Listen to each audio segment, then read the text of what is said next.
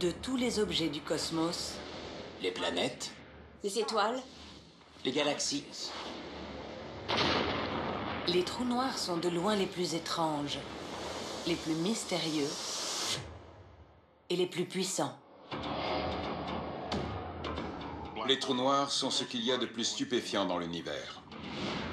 Ils peuvent avaler une étoile tout entière. Les trous noirs émettent des jets puissants qui expulsent de la matière.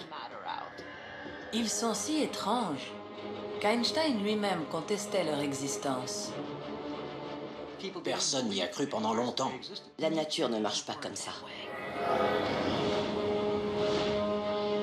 Les chercheurs sont pourtant parvenus à les étudier en observant les effets qu'ils produisent autour d'eux.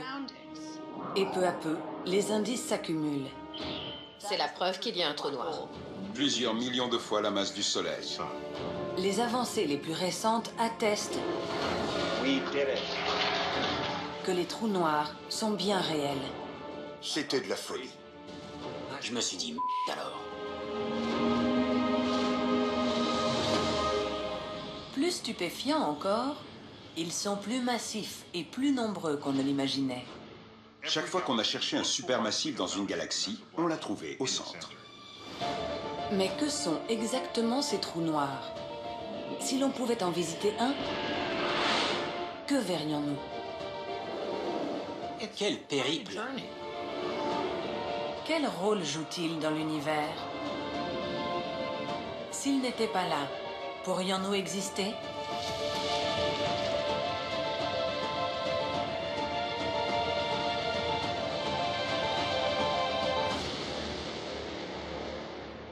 Il existe dans l'univers des objets apocalyptiques, des engins de destruction aussi menaçants que mystérieux, les trous noirs. Même les scientifiques qui les étudient les trouvent extraordinaires. Les trous noirs, c'est bluffant. Je suis sidérée qu'ils puissent exister. Ils sont totalement invisibles. Pourtant, leur puissance dépasse l'entendement. Ils peuvent déchiqueter une étoile. Les trous noirs dévorent tout ce qui passe à leur portée. Mieux vaut ne pas croiser leur chemin. Que sont réellement ces objets bizarres, puissants et si stupéfiants? Où sont-ils? La chasse aux trous noirs est ouverte. Et nous allons parcourir le cosmos et découvrir des lieux qui vont remettre en question tout ce que vous pensiez savoir. Là où l'espace, le temps et même la réalité sont plus étranges que la fiction.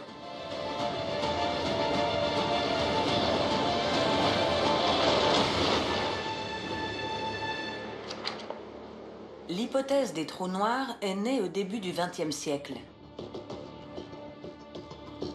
Selon la théorie de la relativité générale d'Einstein, si une masse assez grande peut être comprimée en un espace suffisamment petit, elle créera dans l'univers un endroit où la gravité est si forte que rien ne peut lui échapper, pas même la lumière. Un trou noir. Par la suite, des découvertes en physique et en astronomie vont parvenir à expliquer le mécanisme de formation de ces étranges objets. Lorsqu'une étoile bien plus grande que notre Soleil arrive en fin de vie et a épuisé le carburant nécessaire à la fusion nucléaire, elle s'effondre en une explosion cataclysmique. Une supernova. Si la matière restante a au moins trois fois la masse du Soleil, la force de gravité l'écrasera jusqu'à former un trou noir. Il faudra attendre les années 1970 pour que des astronomes détectent la preuve d'un trou noir, baptisé Sinus X1, et pour que les physiciens soient enfin convaincus de leur existence. Aujourd'hui, les chercheurs pensent que ces cadavres stellaires sont très répandus. Toute étoile dont la masse équivaut à environ 10 fois la masse du Soleil ou plus finira en trou noir. Notre galaxie regorge de petits trous noirs stellaires, cadavres de plusieurs générations d'étoiles disparues. Mais une découverte sensationnelle va prendre tout le monde par surprise. Tout commence lorsque des radiotélescopes relèvent la présence de mystérieux points chauds émettant un rayonnement radio. Ils semblaient être émis par des étoiles. Parce que ces objets ressemblent à des étoiles, mais qu'ils ont été découverts au moyen de signaux radio, les astronomes les baptisent sources de rayonnement quasi-stellaire. Quasar. Mais s'agit-il vraiment d'étoiles? En 1963, Martin Schmidt, astronome à Caltech, découvre un indice. Dans le spectre du quasar, il identifie les raies d'émission qui constituent l'empreinte de l'hydrogène, le composant clé des étoiles. Mais elles sont très largement décalées vers les basses fréquences du spectre. Les astronomes n'ont jamais rien vu de tel.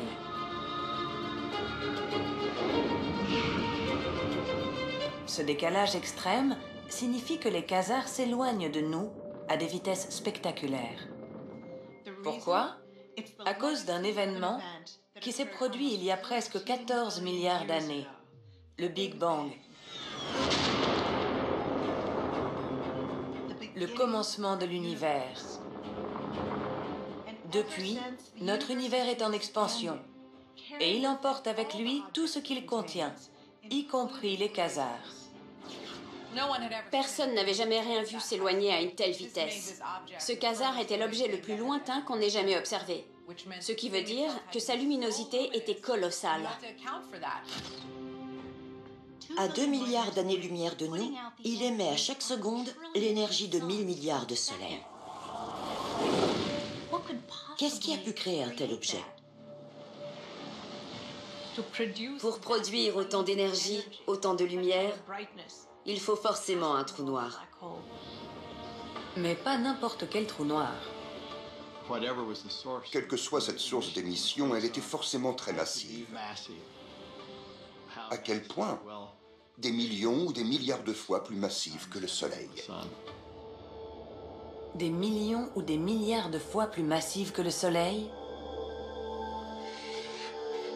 Sinus X1 ne représente que 15 masses solaires. Les trous noirs qui alimentent les quasars jouent dans une toute autre catégorie. Celle des supermassifs.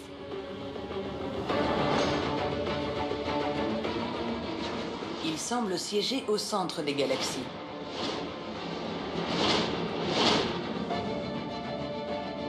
Qu'en est-il de notre Voie lactée? Y aurait-il un trou noir supermassif dans notre voisinage? Le centre de notre galaxie, où pourrait se situer l'un de ces géants, est à chercher dans la prolongation de la constellation du Sagittaire. Le Sagittaire n'est pas une constellation ordinaire. C'est dans sa direction que se trouve le centre de notre galaxie. Parce que nous vivons à l'intérieur de la Voie lactée, il nous est impossible de la voir comme le ferait un voyageur intergalactique. Grâce à ma fidèle machine imaginaire, je peux vous montrer à quoi elle ressemble. C'est une galaxie spirale, des centaines de milliards d'étoiles rassemblées dans un gigantesque disque. Elle est large, environ 100 000 années-lumière de diamètre, mais elle est relativement fine, seulement 1000 années-lumière d'épaisseur. Et la spirale dans tout son ensemble tourne lentement. Notre système solaire est ici. Et là, à 26 000 années-lumière de la Terre, se trouve le centre de la Voie lactée, vers le Sagittaire. Son cœur est très dense. Il y a des millions d'étoiles et beaucoup de poussière et de gaz. Voilà à quoi notre galaxie ressemble vue de l'extérieur grâce à ma technologie imaginaire. Mais depuis la Terre, lorsque nous regardons vers le centre, une bonne partie de la galaxie nous barre la vue. C'est pourquoi elle nous apparaît dans le ciel comme une bande blanchâtre d'étoiles et de poussière, une voie lactée. Un trou noir supermassif se cache-t-il loin derrière toutes ces étoiles et ces poussières?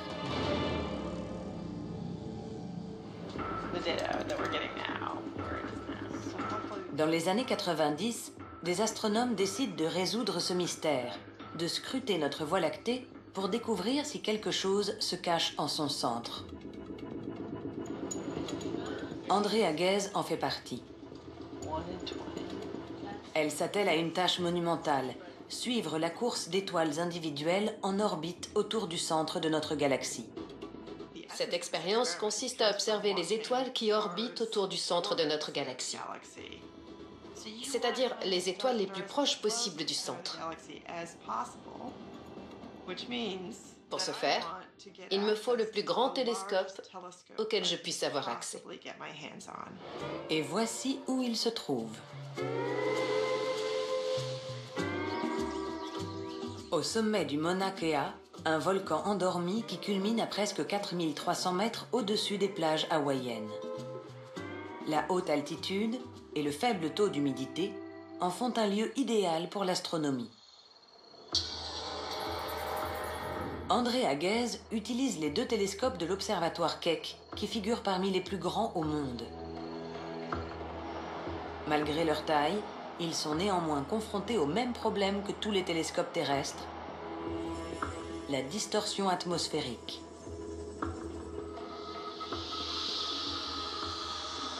Niché au cœur du télescope, le miroir déformable s'adapte jusqu'à 2000 fois par seconde afin de corriger la distorsion atmosphérique. On a ainsi obtenu les images du centre de la galaxie les plus nettes qu'on ait jamais vues. La précision est telle qu'André Aguez parvient à distinguer individuellement chaque étoile proche du centre. C'est une avancée majeure pour l'astronomie. L'équipe entame ses relevés en 1995. Depuis, chaque année on fait un relevé. On prend une photo. L'assemblage de ces clichés annuels crée une vidéo image par image des orbites stellaires. Et ce qu'elle révèle est extraordinaire. Les étoiles tournoient autour du centre de la Voie lactée à des vitesses vertigineuses. Certaines peuvent atteindre 10 000 km par seconde, c'est-à-dire 36 millions de km heure. C'est fulgurant.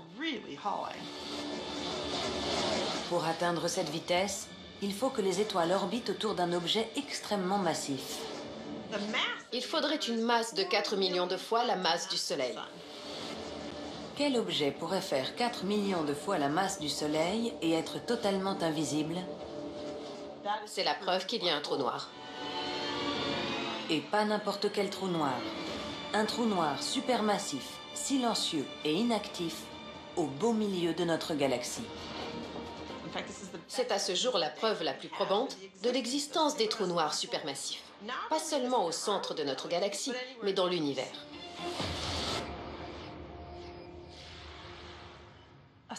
Un trou noir supermassif de 4 millions de masses solaires en plein milieu de notre Voie lactée. À l'échelle cosmique, c'est tout près de nous.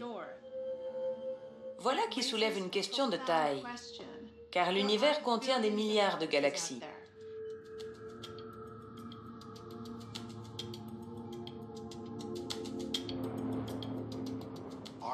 Y a-t-il des trous noirs au centre d'autres galaxies? Et si oui, est-ce fréquent? On n'en savait rien. Seule une nouvelle avancée technologique permettra de le découvrir.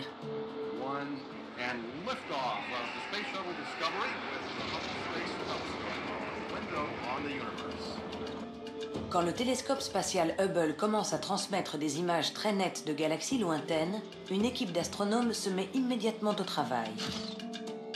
On les surnomme les Nukers, en référence au terme nucléus, le noyau des galaxies.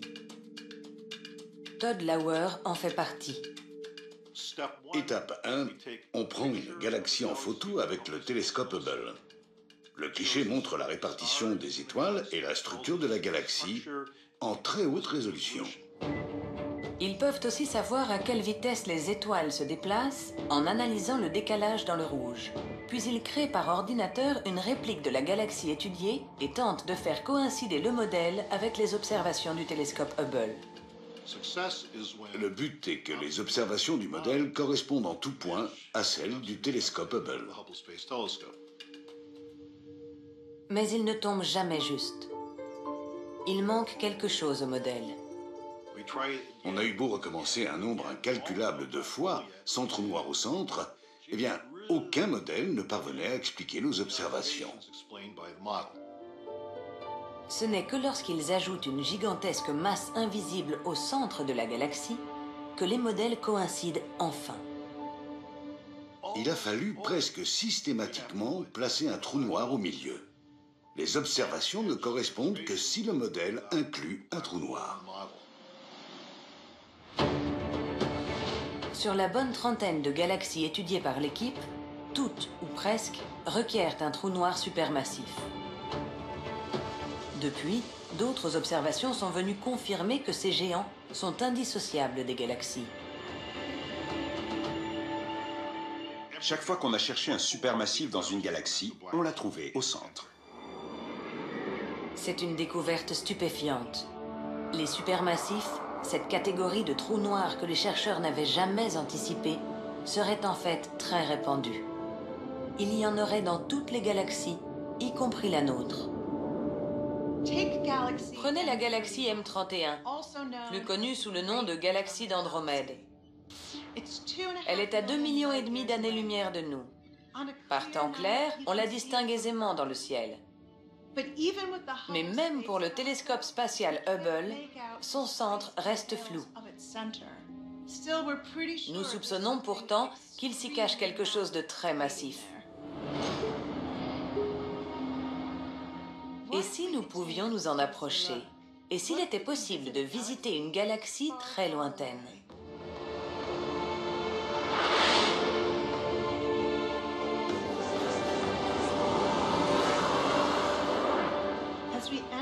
Nous voici à la lisière d'Andromède. Nous en sommes encore trop éloignés pour voir ce qu'il y a en son centre. Seul un amas très dense d'étoiles est visible dans le noyau, signe qu'il y a peut-être un trou noir gigantesque à proximité. Quelques milliards d'années auparavant, celui-ci était sans doute entouré de gaz, d'étoiles et d'autres trous noirs plus petits. Il a peut-être alimenté un quasar, et il est colossal. Si on le déposait dans notre système solaire, Mercure, Vénus, la Terre et Mars seraient toutes piégées dans son horizon des événements. La frontière invisible qui ne laisse rien échapper. Il est énorme, mais ce n'est rien comparé à sa masse. 100 millions de fois celle du Soleil. Et les ravages ne s'arrêteraient pas là. Jupiter serait condamné. Attirée inexorablement par le champ gravitationnel, elle finirait par être avalée par le trou noir. Saturne subirait le même sort. Les planètes externes survivraient peut-être, mais sans lumière et sans chaleur. La rotation du trou noir est très rapide. Elle déforme la trame de l'espace-temps.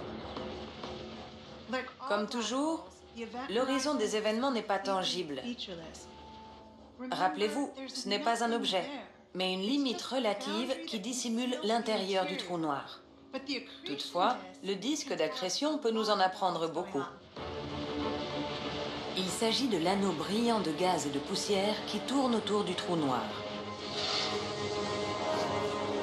Imaginez que nous puissions envoyer une armée de vaisseaux autonomes explorer le disque d'accrétion.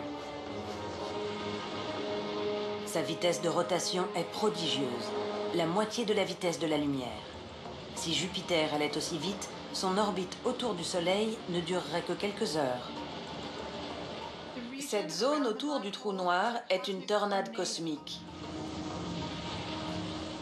Notre armée est emportée par le tourbillon, un peu comme des capteurs lâchés en plein cœur d'une tempête pour mesurer la trajectoire des vents. Le vaisseau du milieu nous envoie des images. Il suit le leader comme une voiture de course sur la piste. D'où nous sommes, la très forte courbure de l'espace-temps autour du trou noir nous fait voir des mirages. Nous avons l'impression qu'il y a un disque d'accrétion tout autour de l'équateur et un autre autour des pôles. Mais ce n'est qu'une illusion. La gravité exercée par le trou noir est si intense que la lumière émise derrière lui est déviée, donnant l'impression qu'il y a un disque d'accrétion au-dessus et en dessous. En réalité, il n'y a rien autour des pôles, à part des rayons lumineux. C'est encore l'effet de lentilles gravitationnelles. En approchant de l'horizon des événements, le mirage gravitationnel serait si fort qu'un vaisseau, s'il regardait droit devant lui, finirait par se voir de dos, la lumière étant à jamais prisonnière de ce cercle. Voilà qui conclut notre exploration du trou noir supermassif au centre de la galaxie d'Andromède. C'était fascinant. Mais le plus époustouflant, c'est que rien dans la théorie mathématique ne permettait aux chercheurs d'imaginer des trous noirs aussi démesurés.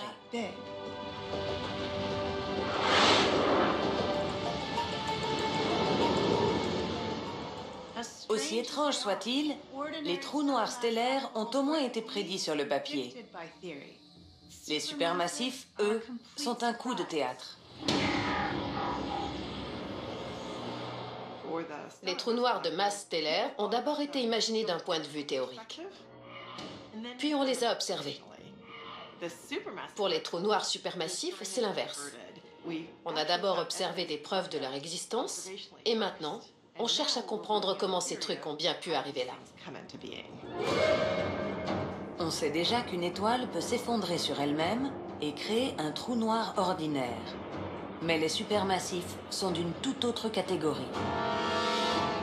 Le supermassif au centre de notre Voie lactée atteint 4 millions de masses solaires. Celui de la galaxie d'Andromède, 100 millions. Et si vous croyez qu'il est le plus massif de tous, détrompez-vous. Certains trous noirs atteignent 10 milliards, voire 20 milliards de masses solaires. Comment un tel ordre de grandeur est-il possible? Les supermassifs sont-ils les vestiges d'étoiles mortes? Cela semble très peu probable. On ne connaît aucune étoile 20 milliards de fois plus massive que le Soleil. On sait que les trous noirs nés de l'effondrement d'une étoile atteignent plusieurs masses solaires. Mais plusieurs millions de fois la masse du Soleil, il est impossible qu'une étoile en soit la source. Ces trous noirs supermassifs, des millions ou des milliards de fois plus massifs que le Soleil, ont-ils simplement grandi en absorbant leur environnement, tels des géants insatiables? Le plus fou, c'est que les trous noirs se nourrissent. Ils dévorent en permanence tout ce qui passe à leur portée. Et ils grandissent. Mais comment? Que mange-t-il? Et où le trouve-t-il? On pense que les trous noirs se développent par accrétion des gaz. Il y a beaucoup de gaz au centre d'une galaxie. Ces gaz vont se rassembler et former un disque d'accrétion. Le disque d'accrétion est constitué d'hydrogène, d'hélium et d'autres éléments sous forme gazeuse. Attiré par l'immense force gravitationnelle du trou noir, il tournoie et s'en rapproche inexorablement jusqu'à ce que le festin commence. Les gaz viennent alourdir la masse du trou noir. Voilà donc une première façon qu'a un trou noir de se nourrir, en grignotant progressivement les gaz et les poussières. Mais ce n'est pas le seul mécanisme. Sinus X1 arrache lentement les couches externes de son étoile compagne. Un processus qui devrait durer encore quelques milliers ou millions d'années. Et si un trou noir pouvait disloquer une étoile en l'espace de quelques années ou de quelques semaines seulement, ce serait un cataclysme. Et c'est ce que guette une équipe d'astronomes. Voici le centre de contrôle des opérations d'un télescope spatial. L'observatoire de rayons X Chandra.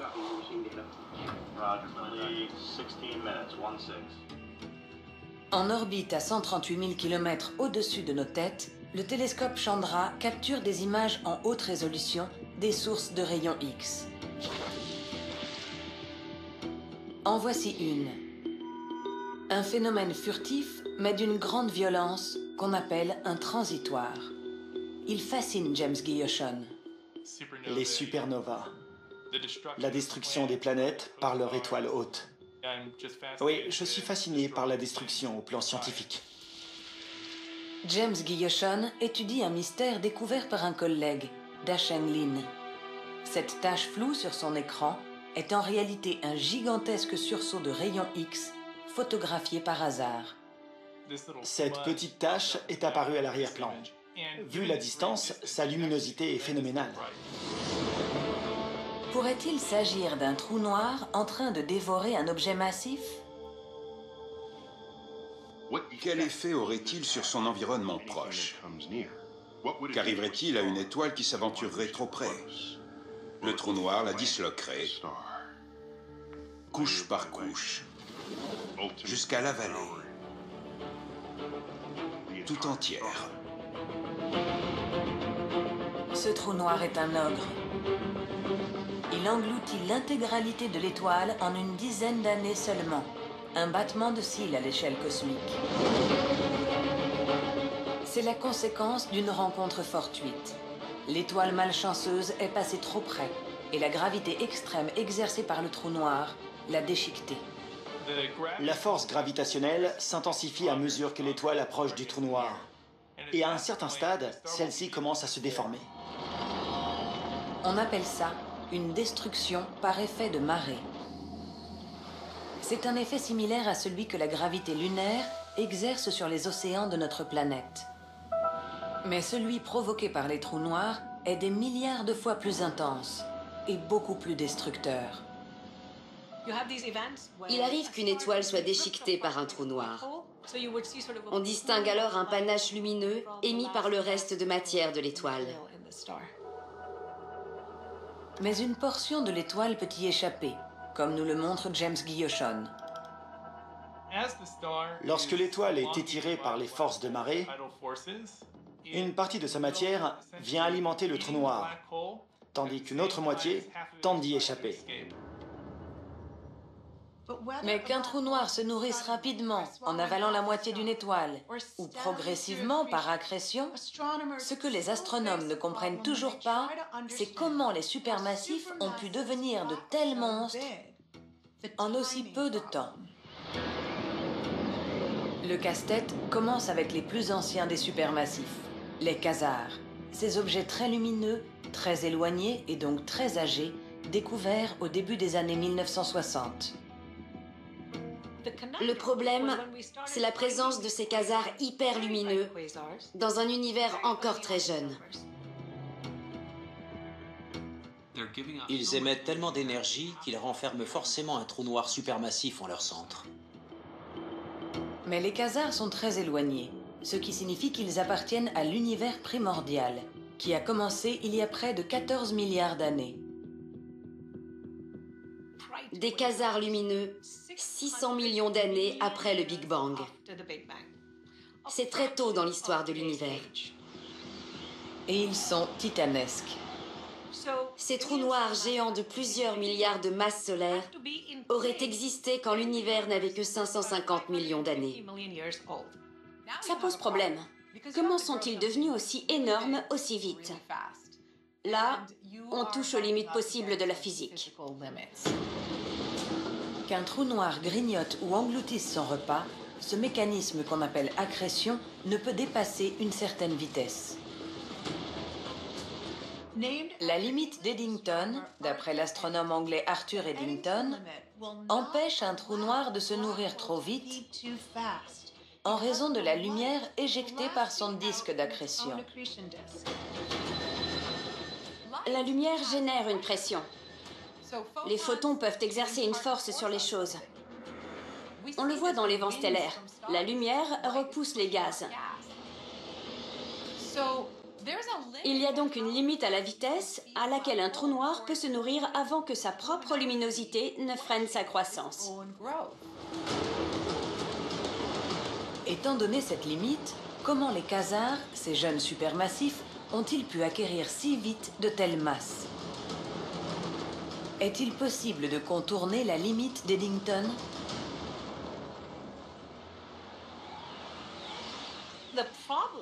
Il y a quand même un problème de temps. Comment ont-ils pu atteindre des milliards de masses solaires? Quelles conditions pourraient permettre une croissance aussi rapide? Certains chercheurs s'interrogent. existerait-il un processus qui permette de créer des trous noirs déjà très massifs dès leur naissance, qui partiraient avec un avantage au départ S'il existait un mécanisme capable de faire germer un trou noir beaucoup plus massif dès l'origine, les questions de temps et de croissance seraient moins problématiques. Certains pensent qu'un nuage de gaz pourrait effectivement engendrer directement un trou noir. C'est ce qu'on appelle l'effondrement direct. Commence par des nuages de gaz constitués d'hydrogène, d'hélium et d'autres éléments, les matières premières nécessaires à la fabrication des étoiles. Les nuages les plus denses vont s'effondrer sur eux-mêmes. Cependant, toutes les zones du nuage ne s'effondrent pas à la même vitesse ce qui provoque une fragmentation du nuage. Ces fragments vont s'effondrer jusqu'à ce que les atomes d'hydrogène s'assemblent, que la fusion nucléaire commence et que des étoiles voient le jour. Mais que se passerait-il si un nuage de gaz géant s'effondrait sans créer d'étoiles on s'est aperçu que dans certaines conditions très précises, il était possible qu'un grand disque gazeux se forme avant qu'aucune étoile ne naisse. Ce disque devient ensuite instable et sa masse se retrouve propulsée très rapidement vers le centre, ce qui crée un trou noir très massif. Grâce à leur masse de départ déjà très conséquente, ces trous noirs auraient bénéficié d'une avance considérable et auraient ainsi pu grossir très rapidement pour devenir les supermassifs qu'on observe aujourd'hui dans l'univers distant. En théorie, l'effondrement direct pourrait créer des trous noirs dont la masse initiale, celle de la graine qui leur donne naissance, serait 10 000 à 100 000 fois supérieure à celle du Soleil. Ce serait effectivement leur masse de départ. L'effondrement direct explique peut-être la naissance des trous noirs supermassifs. Mais quel rôle jouent-ils dans l'univers? Leur existence est-elle due au hasard? On les voit comme des phénomènes étranges, mais ils sont peut-être une composante indissociable des galaxies et de l'univers. On en est très vite arrivé à se dire qu'il y en avait probablement au centre de chaque galaxie. Ce n'est possible que s'il existe une relation symbiotique entre l'évolution d'une galaxie et le trou noir supermassif qu'elle renferme.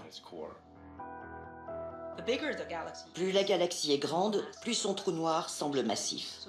Les trous noirs galactiques seraient donc liés à la dimension de leur environnement. Mais lequel est arrivé en premier? La galaxie ou le trou noir supermassif Ce n'est pas si simple leur développement serait simultané. On voit mal comment l'un pourrait se former puis affecter l'autre. On pense que le processus qui donne naissance à l'un crée systématiquement l'autre et qu'il existe un mécanisme d'alimentation mutuelle entre le trou noir et la galaxie qui synchronise leur évolution. Certaines caractéristiques étonnantes de ces mystérieux supermassifs vont bientôt être révélées. Une équipe de scientifiques emmenée par Shep Dolman veut tenter l'impossible, photographier un trou noir.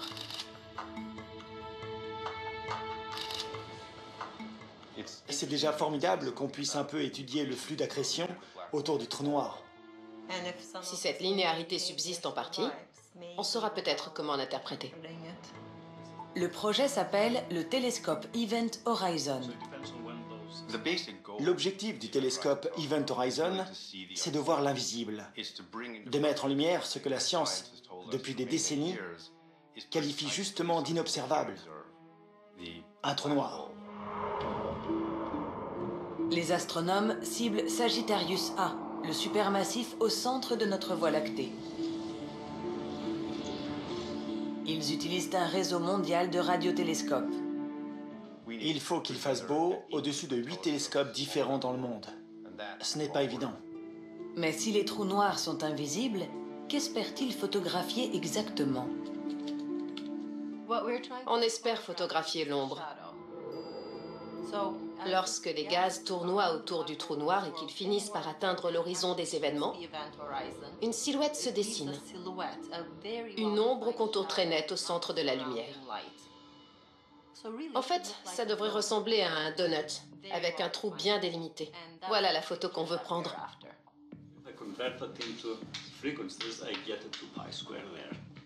L'équipe a effectué ses premières observations et analyse actuellement les données. Mais une technique novatrice montre déjà des résultats. Retournons à LIGO, l'observatoire d'ondes gravitationnelles par interférométrie laser. Un acteur clé dans la quête des trous noirs, basé sur une idée très en avance sur son temps, les ondes gravitationnelles. Dans sa théorie de la relativité générale sur la gravitation, Einstein prédit que lorsqu'un objet se déplace, il crée des ondulations dans l'espace et le temps, une déformation de la trame de l'espace. L'une des grandes quêtes de la physique du XXe siècle était de parvenir à détecter ces ondes gravitationnelles. C'était compliqué avec la relativité générale, parce que les effets escomptés étaient infiniment petits et donc très difficiles à mesurer. L'idée est simple. En parvenant à mesurer les ondes gravitationnelles, on confirmera les prédictions d'Einstein. Si deux trous noirs venaient à fusionner, leur collision provoquerait une avalanche d'ondes gravitationnelles, apportant la toute première preuve de l'existence des trous noirs, ainsi qu'un indice sur le mystère de la formation des supermassifs. Mais comment détecter les ondes gravitationnelles? En 1970, ce problème attire l'attention d'un jeune physicien expérimental, Ray Weiss. Il a le profil idéal pour chercher des ondes gravitationnelles. Depuis des dizaines d'années, il étudie des ondes beaucoup plus familières, les ondes sonores. Nous étions des immigrés juifs allemands et beaucoup de nos amis adoraient la musique. Ray Weiss s'est consacré à déceler les plus subtiles nuances de la musique enregistrée. Ces disques avaient un gros problème. Quand la musique était forte, le son était merveilleux. Mais quand elle était plus basse, on n'entendait plus qu'un un sifflement. C'était pénible. Ce qu'il apprend en tentant d'éliminer ces bruits parasites, il le met à profit plus tard, lorsqu'il décide de partir à la recherche des ondes gravitationnelles. Il faut comprendre comment une onde gravitationnelle fonctionne. D'un point de vue physique, les ondes gravitationnelles sont assez similaires aux ondes sonores. Imaginez que l'onde soit émise par un objet qui bouge et qui oscille. Une onde sonore contracte et dilate l'air. Une onde gravitationnelle contracte et dilate l'espace et tout ce qu'il contient. Si cette onde traversait la Terre, elle ferait se dilater momentanément l'espace, avant de le faire se contracter à nouveau. Et ce, en permanence. Ça ferait blip, blip, blip en continu. Alors comment mesurer ces minuscules contractions et dilatations de l'espace? Ray Weiss a l'idée d'utiliser la lumière. Il projette un faisceau lumineux d'un endroit à un autre et il mesure le temps de trajet de la lumière. C'est comme ça qu'on a calculé la distance exacte de la Lune à la Terre, en dirigeant un faisceau laser vers un miroir laissé sur le sol lunaire par les astronautes d'Apollo 11.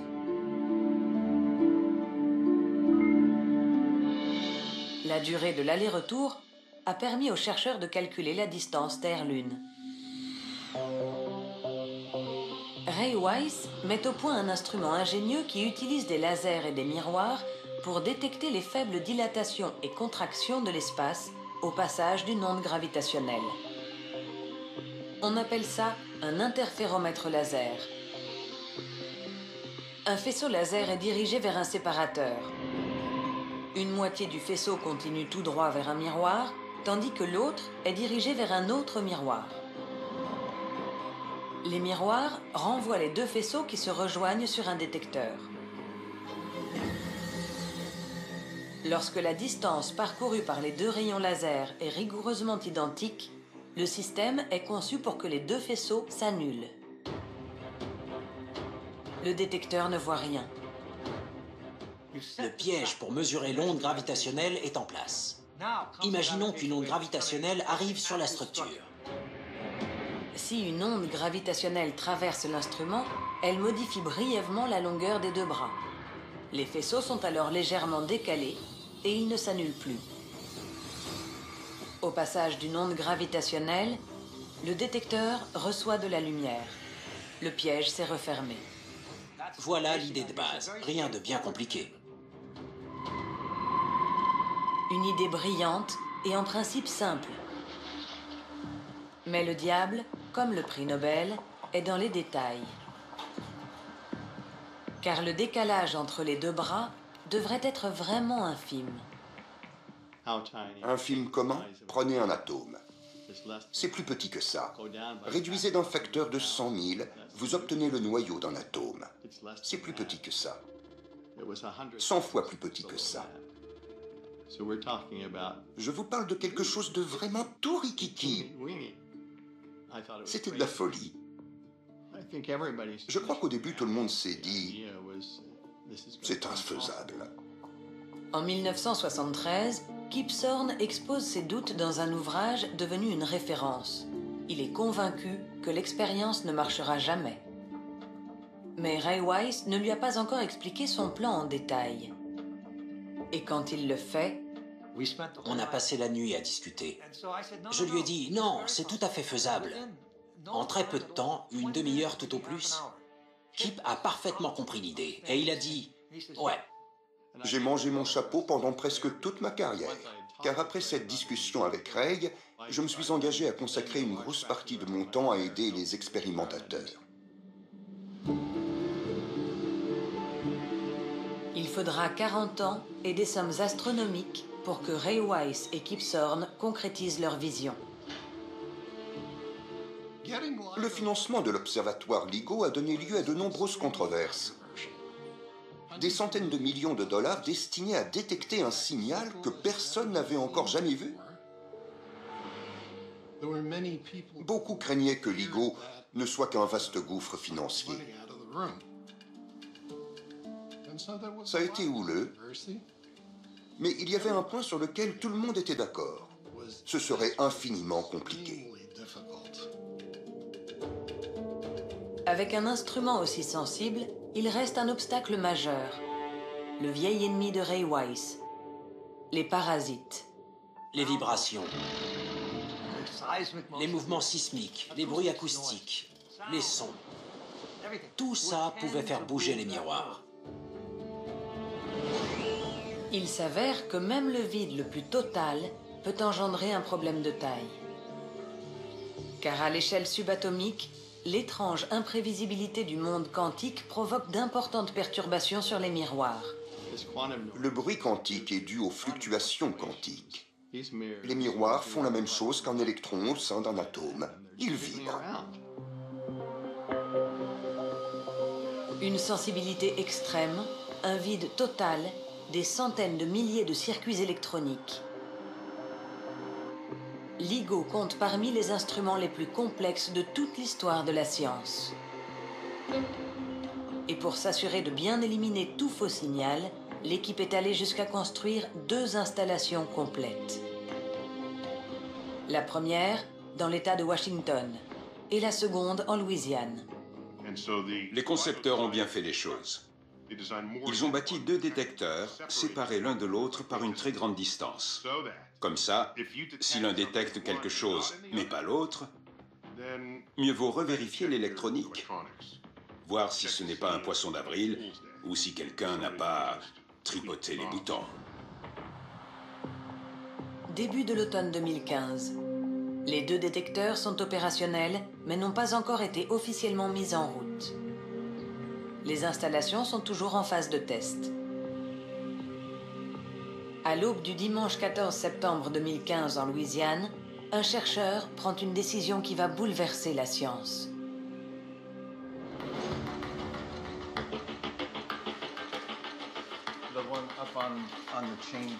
Robert Scofield a travaillé tout le week-end aux derniers étalonnages. Il n'a plus qu'un seul test à faire. Mais il est tard et l'équipement se montre récalcitrant. Il devait être environ 4 heures du matin et il nous restait encore une bonne heure de travail. Je me suis dit, rien ne veut fonctionner et je suis épuisé. Tant pis pour la dernière heure, on ne la fait pas. Il rentre chez lui. 40 minutes plus tard, alors que le silence règne dans l'installation, un événement historique se produit.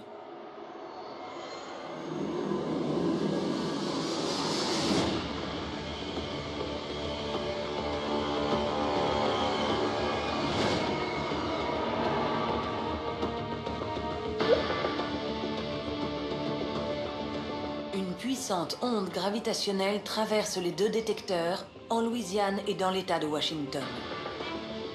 Si Robert Scofield avait travaillé 40 minutes de plus et maintenu les instruments en mode test, ce signal, qui a mis 1 milliard 300 millions d'années pour nous parvenir, n'aurait jamais été enregistré. Je dis souvent qu'une de mes plus grandes contributions à LIGO a été ma paresse cette nuit-là.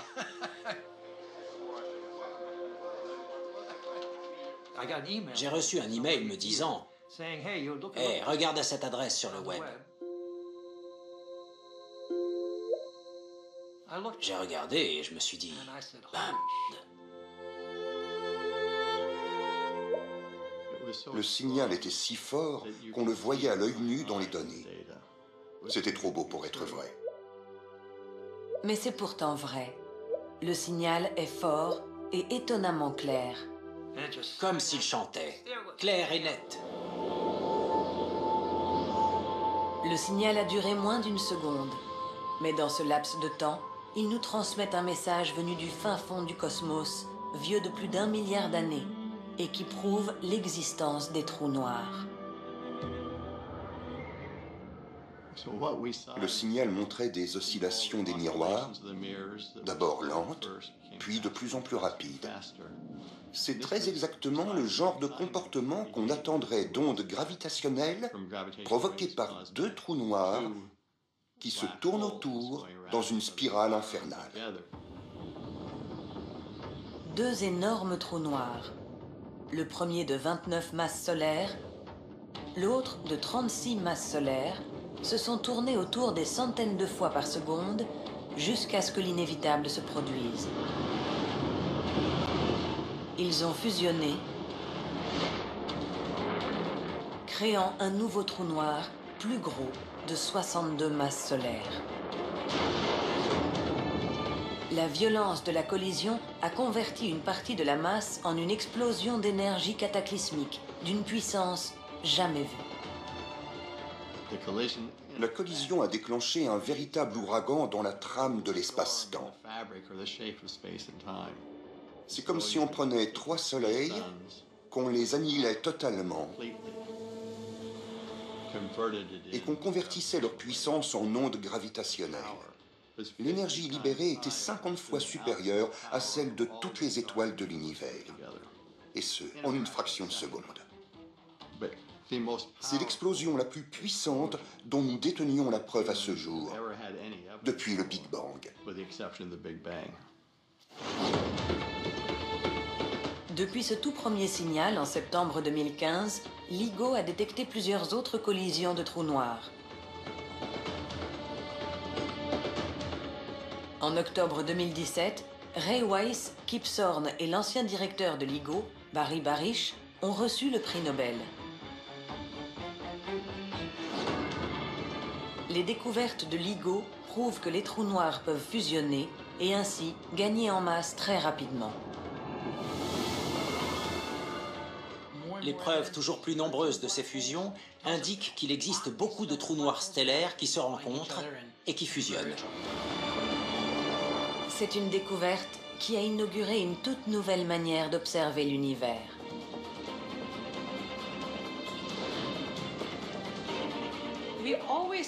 On a toujours considéré l'astronomie comme un champ d'observation des rayonnements.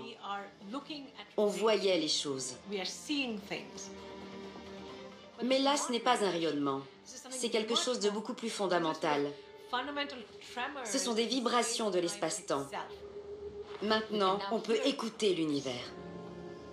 Mais à moins de pouvoir observer la création d'un trou noir, beaucoup de questions resteront sans réponse. Trop d'éléments sont irrémédiablement hors de notre portée, et nous ne saurons jamais d'où viennent les trous noirs, ce qu'ils contiennent, ni quel est leur passé.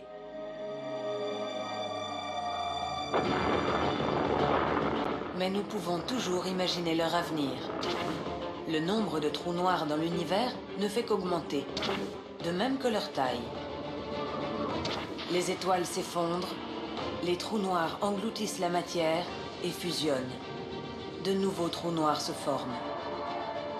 Est-il possible qu'un jour, toute la matière soit avalée et que les trous noirs règnent sur l'univers? Des milliards de milliards d'années plus tard, lorsque la dernière particule de matière aura franchi leur horizon des événements, les trous noirs eux-mêmes pourraient s'évanouir et disparaître à tout jamais de cette réalité.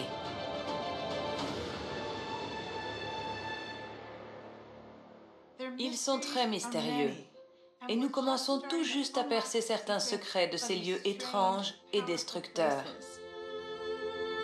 Mais une chose est sûre, les trous noirs continueront à nous intriguer, à nous fasciner et à défier aussi bien nos connaissances scientifiques que notre imagination.